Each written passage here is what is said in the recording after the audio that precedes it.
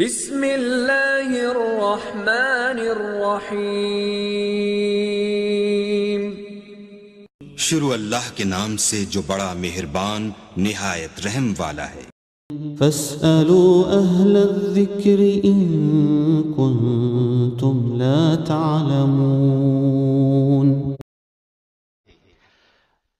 बस अगर तुम नहीं जानते तो अहले इल्म से दरियाफ्त कर लो कराची से भाई मोहम्मद इरफान लुकमान साहब ने सवाल लिखा है। लिखते मुफ्ती साहब, हमारे यहाँ बाज़ लोगों में एक बात मशहूर है कि अकीक़े का गोश्त बच्चे का माँ, बाप, बहन और भाई नहीं खा सकते। अगर इन लोगों ने खाना है तो इसके लिए ज़रूरी है कि बाज़ार से डेढ़ किलो गोश्त लाकर इस अकीक़े के गोश्त में शामिल करें, फिर खाएँ। नहीं तो अकीका नहीं होगा। दूसरी बात ये पूछनी है कि हमने किसी से सुना है कि अगर सातवें दिन के बाद अकीका किया जाए तो अकीका नहीं होता, बल्कि नफली सदका होता है। इसके बारे में शरीयत क्या कहती है कि क्या अकीका सातवें दिन के बाद भी हो सकता है या नहीं? मोहम्मद इरफान लुकमान। जी मेरे मोहतरम भाई, सबसे पहली बात जो आपने पूछी कि आपके यहाँ मशहूर है कि अकीक़े का गोश्त लड़के का, यानी जिस बच्चे का अकीका किया जा रहा है, उसकी माँ, बाप, बहन, भाई नहीं खा सकते।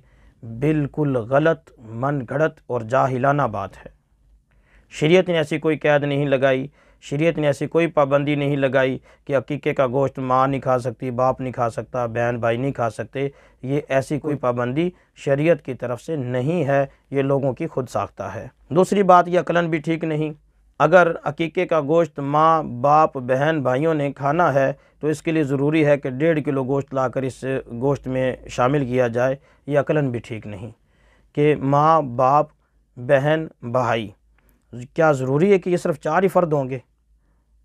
ये भी हो सकता है कि बच्चे की बहनें जो हैं, वो पाँच बहनें हों, पाँच भाई हों तो दस अफराद तो ये हो गए और दो, वो बारह अफराद हो गए। क्या बारह अफराद के लिए भी डेढ़ किलो, चार के लिए भी डेढ़ किलो? मुमकिन है कि ये आठ आठ बहन भाई इसके और हों। सोलह और दो, अठारह बंदों के लिए भी डेढ़ किलो और चार बंदों के लिए भी डेढ़ किलो। तो ये अकलन भी ठीक नहीं, ये एक महज एक ढगौसला था। ये एक जाहिल अवाम की एक खुद साख्ता बात थी। हकीकत के साथ इसका कोई ताल्लुक़ नहीं है। अकीक़े का जो गोश्त है, उसकी तकसीम वही है जो कुर्बानी के गोश्त की है कि अफजल है कि इसके तीन हिस्से किए जाएँ। एक हिस्सा घर वाले खा लें, एक हिस्सा रिश्तेदारों को दे दें और एक हिस्सा जो है फ़ुकरा और मसाकिन पर तकसीम कर दिया जाए। और इसमें इस तरह की मन घड़त कैदें लगाना ये दुरुस्त नहीं है। दूसरी बात ये कि आपने कहा कि सातवें दिन के बाद अगर अकीका किया तो ये एक नफली इबादत होगी। मेरे मोहतरम भाई, अकीका सिरे से ही नफली इबादत है।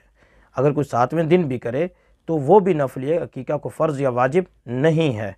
लिहाजा दूसरा आपका ये कहना कि सातवें दिन के बाद अकीका हो सकता है या नहीं तो मेरे मोहतरम भाई, अफजल और सही तो यही है कि सातवें दिन ही कर लिया जाए, सबसे अच्छा है। अलबत् अगर कोई सातवें दिन नहीं करता तो हकीका उसके बाद भी किया जा सकता है। उसमें भी अगर थोड़ा सा इस बात का लिहाज रख लिया जाए कि बच्चा जिस दिन पैदा हुआ था, साल के तौर पर जो बच्चा बुध के दिन पैदा हुआ है, उसका हकीका आइंदा मंगल को जो है ये मुस्तहब है।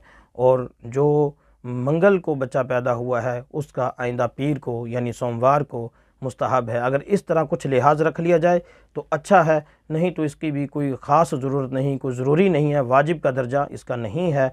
महज एक मुस्तहब के दर्जे तक है शरीयत ने इसको पसंद किया है। अगर ऐसा हो जाए तो सबसे अच्छा है। बहरहाल, अकीका सातवें दिन का अफजल है। उसके बाद भी अकीका किया जा सकता है। जब तक बंदा ज़िंदा है, अकीके का वक्त है, अकीका किया जा सकता है।